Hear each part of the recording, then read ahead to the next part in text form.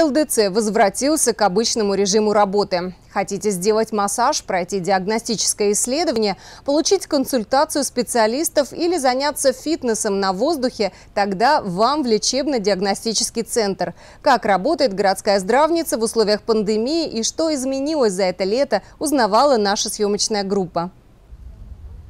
Разметка на асфальте, термометрия и регистрация пациентов. Работа по правилам коронавирусного времени. Все для безопасности посетителей и медиков. А дальше вроде тоже помещение, те же специалисты, но как-то светлее и уютнее. Рядовой пациент сразу почувствует перемены. Несколько карантинных месяцев в лечебно-диагностическом центре шел ремонт. Пока строители реконструируют водное отделение, сотрудники центра сами клеили обои, белили потолки и красили стены. Косметический ремонт был проведен со всеми карантинными ограничениями, соблюдением всех норм, но тем не менее своими силами образовали хозяйственные группы в то время, когда э, необходимо было находиться в простое. Мы такого себе позволить не могли и э, собрались и те, кто мог, кто владел Э, приемами ремонта. Сделали своими силами на всех четырех этажах косметический ремонт. Это позволило нам, конечно, и улучшить э, среду, более комфортно, более приятно стало заходить, но также позволило лучше соблюдать санитарно-эпидемиологический режим. Лечебно-диагностический центр возвратился к обычному режиму работы – диагностика, водолечение, физиотерапия и консультации специалистов. Теперь доступны все процедуры, кроме ингаляции и УФО органов дыхания. С 8 часов до 18.00 расписана работа каждого кабинета, строго ведется прием по записи, выдаются талоны для того, чтобы избежать очередей, избежать скопления людей.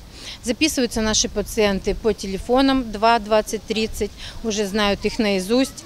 И э, если у нас запись раньше была только к узким специалистам и на диагностику, то сейчас запись абсолютно на все виды медицинской помощи ЛДЦ.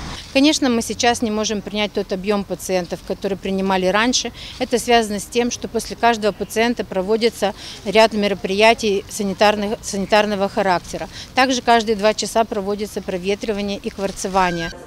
Особое внимание людям, перенесшим травмы, пережившим инфаркт или инсульт, детям и взрослым с заболеваниями опорно-двигательного аппарата и ограниченными возможностями здоровья. Зал ЛФК здесь занимаются с пациентами после травм. Коронавирус внес свои коррективы. Пациентов принимают немного меньше, ведь необходимы перерывы на обработку кабинетов, проветривание и кварцевание.